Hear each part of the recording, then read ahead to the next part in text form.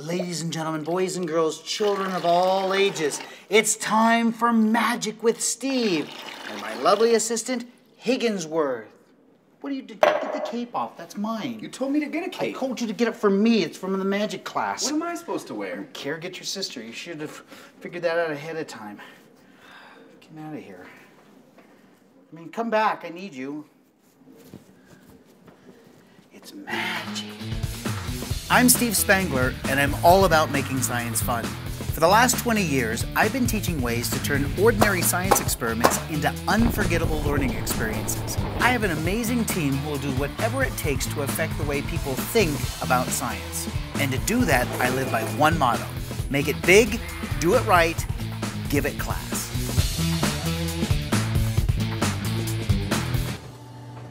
Ladies and gentlemen, boys and girls, children of all ages, it's time for Magic with Steve and my lovely assistant, Higginsworth. What were you? Gosh, you're supposed to come in. All right, ladies and gentlemen, watch this. We're doing magic. So, in order to do this magic, wait, I should move it over this way, is we're going to need a lovely assistant, Higginsworth. So, what we need you to do, Higginsworth, is to get up on this table and lay down flat. Just do it. Just don't ask. Just get on the table. Good. Okay, lay down. Okay, good. Okay, move down a little bit. Nice that you wore your nice jeans today. All right, so, ladies and gentlemen, we're now doing the death defying action of the water trick. It's somewhat death defying, but it's not actually that much. Here's what I'm gonna do I'm pick up the water like this, and, okay, hold on a second. It's, hang on, Higginsworth, you're fine. My back's Okay. getting wet. Don't worry. Okay, now watch. You're just gonna pick up the water. Okay, hold on a second. Okay, so uh, my how I'm trying to do is just pick up the water. Okay, if you use your hand. This is so good. Watch this. Higgs, this is gonna be so awesome. Watch. Dun, da, da, da. It's defying gravity. Da da! That was awesome. Sorry. It's okay. Don't worry about it. Come on. Shut up. It's they didn't cover that in the whole magic class. I had to leave early. Get out of here. Works most of the time. Part of that didn't work because Higginsworth got me the cheap cape, not the good cape, like I asked for. I'm going to teach you how to make water float in the air. And, and it's easier than you might think. You need some common materials. It's actually the mysterious water suspension. Let me show you a classic magic trick. This is written up hundreds and hundreds of years ago. It's the mysterious water suspension. We're going to use a bottle with a narrow mouth. You can use something else if you want to, but you might want to try with this first. Normally, if you put your hand on top of the bottle, turn it upside down like this and let go, the water comes out with no problem at all. Here's what we're going to try to do is to restrict that opening, and of course you're going to see the secret now, but uh, we'll try to hide it here in just a minute. Literally, it's as simple as going to the produce section and buying some uh, tomatoes. So honestly, just make a trip to the uh, the store. You're gonna look in the produce section. Of course, you have to buy whatever it is. You just can't like take this stuff here. This may uh, be a little bit too narrow, and this may be a little bit too coarse. All you can do is kind of practice with it. What I found is this yellow material seems to work fairly well if I double it up. So here's what we're gonna do. The secret is surface tension. So we're gonna take this netting material and we're gonna put it over the bottle here like this. So there still is an opening here, but now we're gonna seal it off with a rubber band. Got it? All right. If we turn it upside down now, the water will come out. Here, watch this. See how the water will come out? All right. What we need to do is we need to form a seal over the top. So this is where you put your hand on the top like this, turn the whole thing upside down, and now pull away, and watch this. You lose a little bit of water, but literally the water is hanging there. It is hanging there because of surface tension, right? There's adhesion and there's cohesion. Adhesion is where mo- water molecules hook onto the surface of the, uh, the container, maybe the netting material. Cohesion is hydrogen bonding. It's where water molecules hook onto other water molecules. It's precariously perched there. You can ugh, shake it out just a little tiny bit, and if air gets inside, it will come out as well. But there's something that you can do that's very cool with a toothpick. Check this out, just a toothpick. You can actually take a toothpick, go in between the netting material without losing the water and let go, and it floats to the top. So you're kind of doing a little water surgery here as you're poking it up in there And again, the water molecules literally are just sealing themselves back around and the surface tension is holding it in place. People are amazed. Okay, they're not really amazed because they can see the netting, netting material, but they would be amazed if you could hide the netting material. Gives me an idea. All right, so check this out. Jar, no screen this time, and some, hold on, some water. Oops.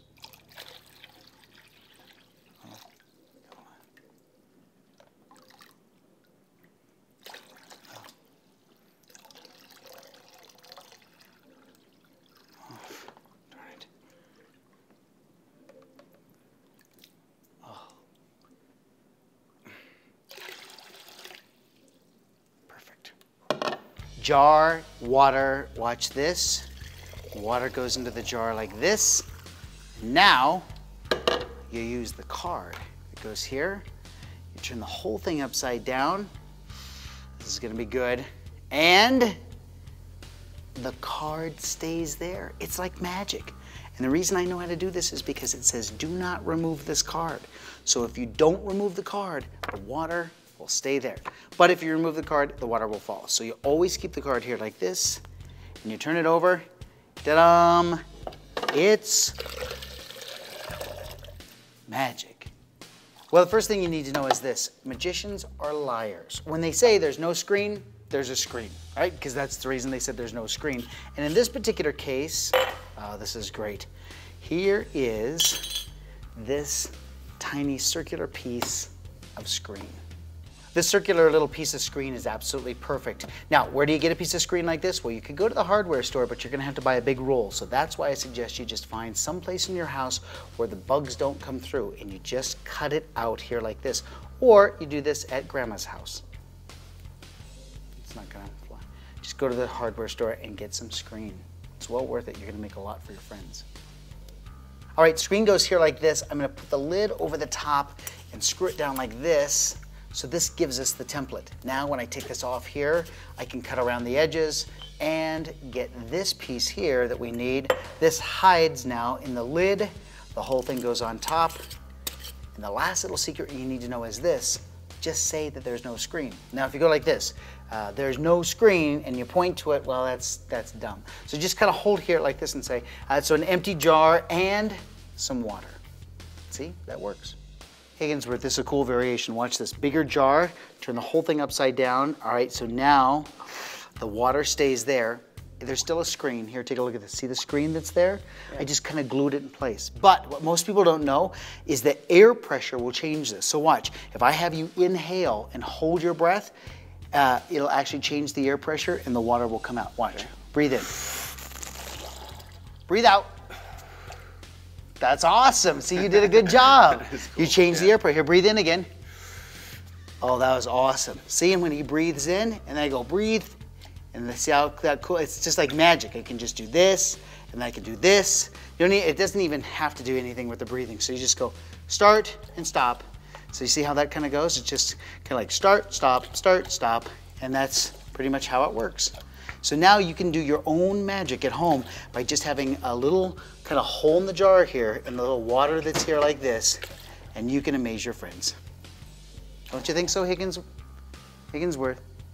So you want more information? All right, there is a hole in the jar, and if you just hold it here like this, this would not be amazing. So you have to cover your finger, or I use my thumb over the hole. Got it? So if you turn the whole thing upside down, the jar is just like the one that you had before. When you pull your hand away, surface tension now holds the water in place. However, if you take your thumb off the hole, air comes in here and water comes out here. It's a matter of me taking my thumb off, air comes in here, water comes out here.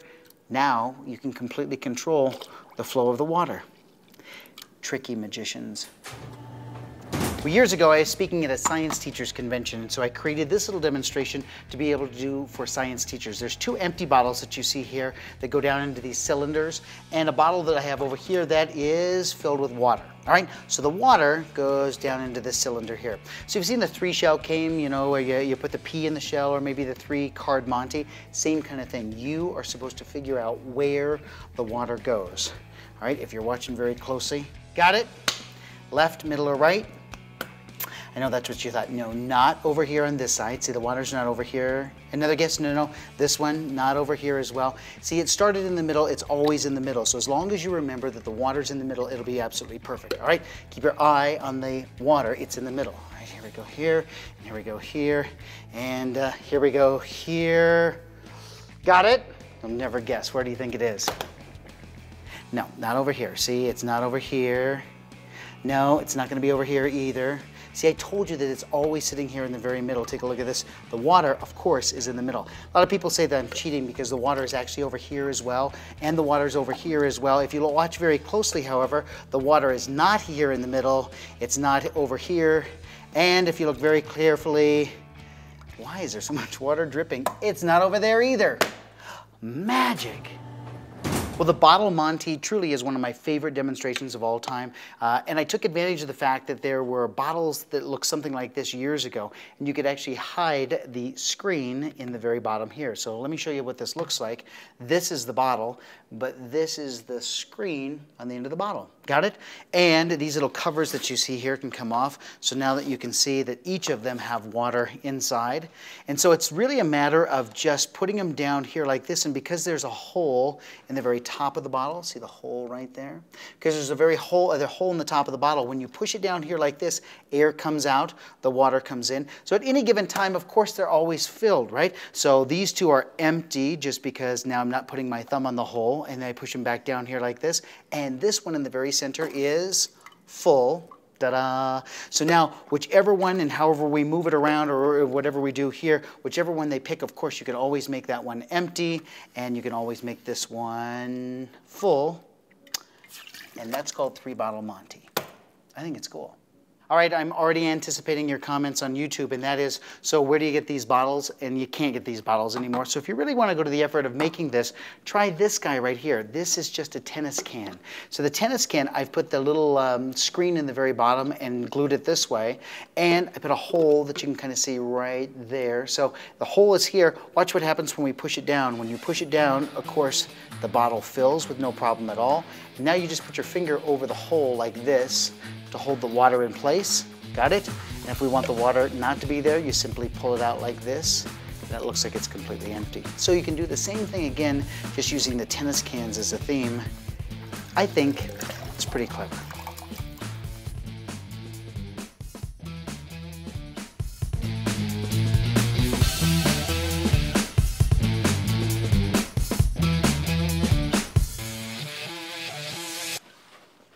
That was a good episode. Yeah. You're a good sport.